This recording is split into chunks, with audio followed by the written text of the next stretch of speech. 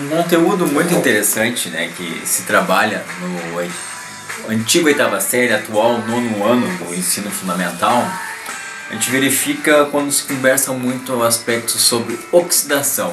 E o que, que vem ser oxidação de uma forma geral, né? E como tem esse caráter inter, né, e entre disciplinas, né, a forma de trabalhar, podemos verificar que uma reação de oxidação, né, muitas vezes a gente tem o que? Uma perda de elétrons, né?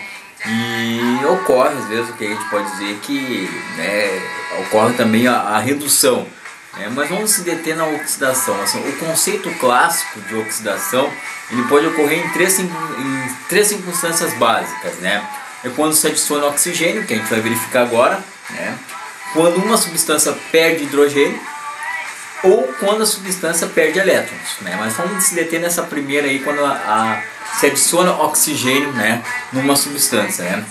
Um exemplo muito clássico né, é da, da, das saladas, né, de frutas, de uma forma geral, uh, tende a, a escurecer quando ficam ou entram em contato com oxigênio. Né, e um recurso que se utiliza muito é, é de uma forma geral, é colocar digamos, né, a vitamina C presente em, frutas cítricas, vamos dizer assim, né, como o limão, para impedir que esse fenômeno ocorra.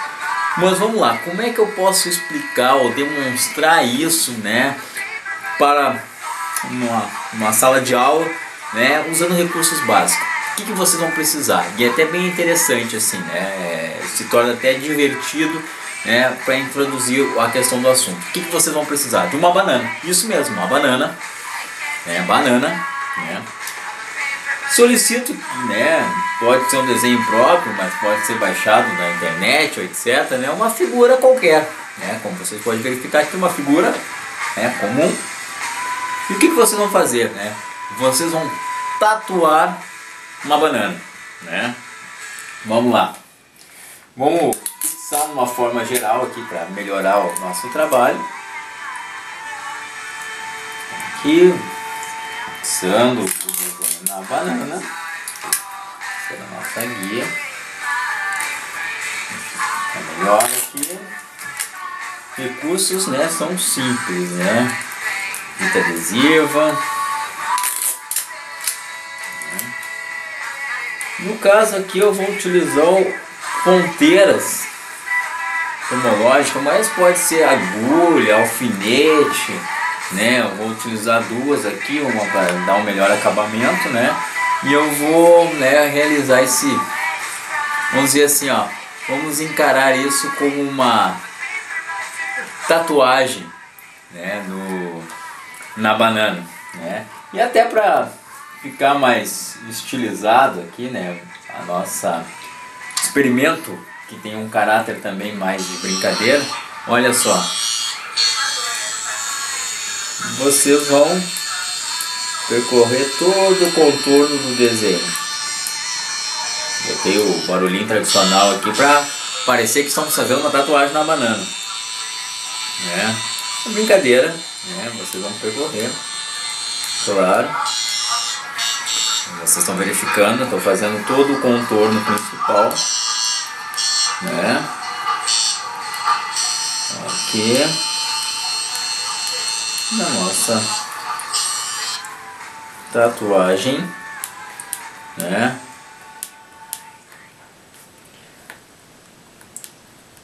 Claro, vocês vão fazer isso por um tempo, né? percorrer todo o desenho em si, na verdade, né?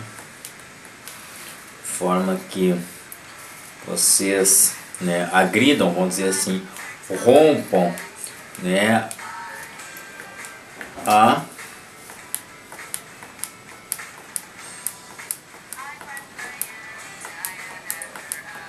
casca.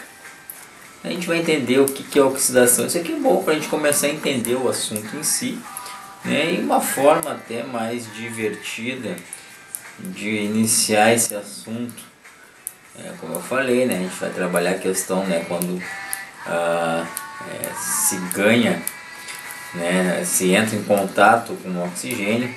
Posteriormente vamos trabalhar aspectos mais que envolvam o ganho e a perda, né? A gente vai ver que em falar em oxidação, também falamos em redução, né? E o que, que vai acontecer, né? Primeiramente, né, eu vou todo, né? Vocês podem pegar um desenho mais simplificado, né? Mas também pode, né? Né? Gosta assim um desenho mais trabalhado, porque o efeito final é bem bacana. Né? Aqui eu vou fazendo, percorrendo todo o contorno do nosso desenho. Depois eu vou fazer um, um pequeno acabamento.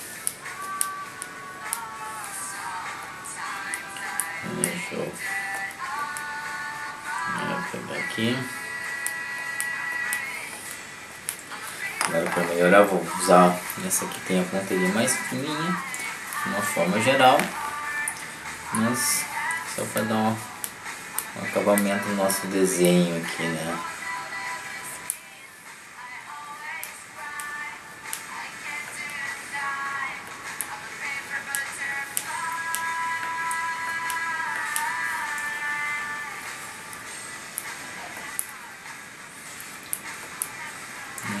Vocês vão fazer, claro, com uma experiência simples.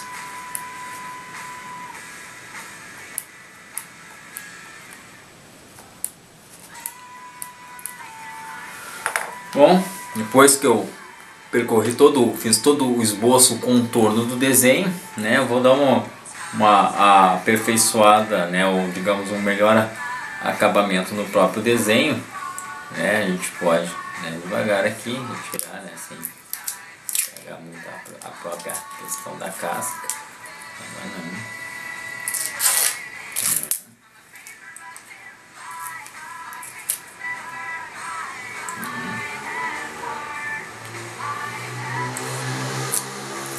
lá. É, o contorno aqui já está feito, já dá para verificar. E agora o que, que eu vou? Só vou, digamos, aperfeiçoar o que a gente já fez aqui no desenho. É, permitir isso. Né? Eu posso fazer não sombras, né? fica mais fácil, de forma que eu só agrida de leve né? a casca e faça de forma geral né? ela ter contato internamente com o oxigênio. O que, que a gente vai precisar agora, agora só para vocês verem, o efeito não está completo, né? Vocês vão precisar de tempo. Daqui uns 20 minutinhos a gente volta e a gente vê o resultado final. Tranquilos? Feito!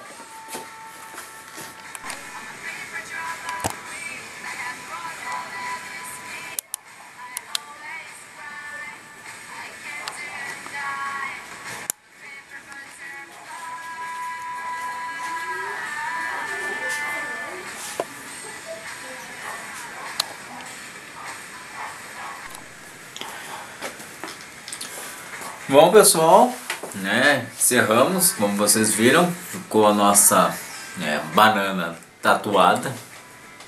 Sugestão de nome de banda, né? Tem rosa tatuada, Guns N' Roses, banana tatuada, né? Bom, fica o experimento para vocês iniciarem a questão da oxidação. E o bom desse material aqui, né, e até para vocês pensarem, quem é meu aluno sabe, né, lembra uma discussão que a gente fez? Banana, é um fruto ou um pseudofruto? Afinal de contas, estamos falando de ciência também. Mas o bom, depois da nossa banana tatuada aqui, é que, né, podemos comer o nosso experimento. Até a próxima!